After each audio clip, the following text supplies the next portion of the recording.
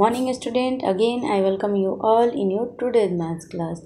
Today we will discuss how we can find the quotient and the remainder after dividing the number.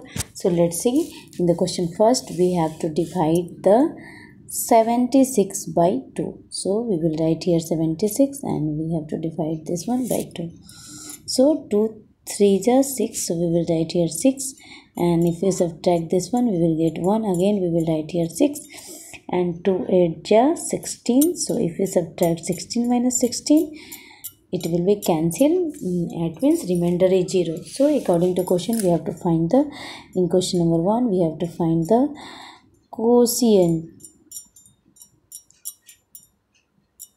So quotient is what? Quotient is 38 and again here we have to find the remainder also. So remainder remainder is equal to what? Remainder is 0 it means there is no remainder. So uh, in this way we can find the quotient and remainder. Now solve the next one.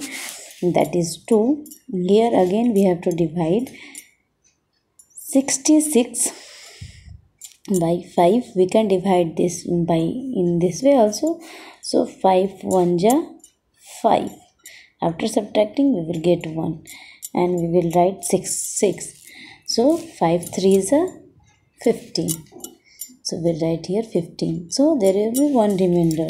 So according to question in the question 2 mm, what will be the quotient? The quotient quotient is 13 is it clear? You can see here that this 13 is the quotient and the remainder is remainder is what? Remainder is 1 so we will write here 1 okay? So in this way we can find the quotient and the remainder of the uh, any number. After dividing with the given number. Okay? Now let's see the next one.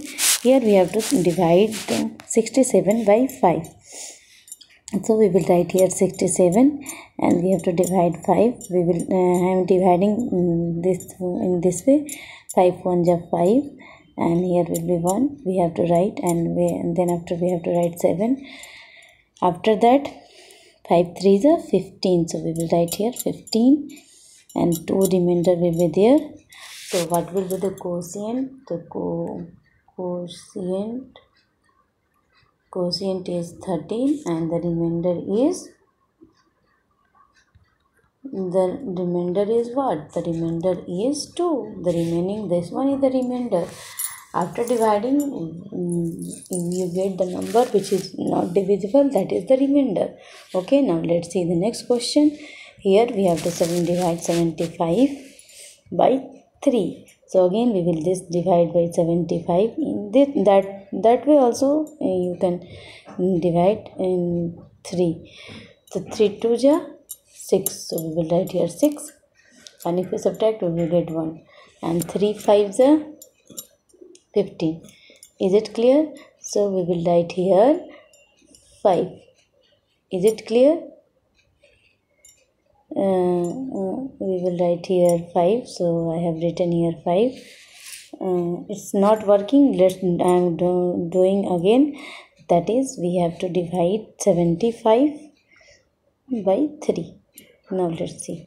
So if we divide 3 um, 2 ja 6 See, after subtracting we will get an 1 and we have to write 5 again.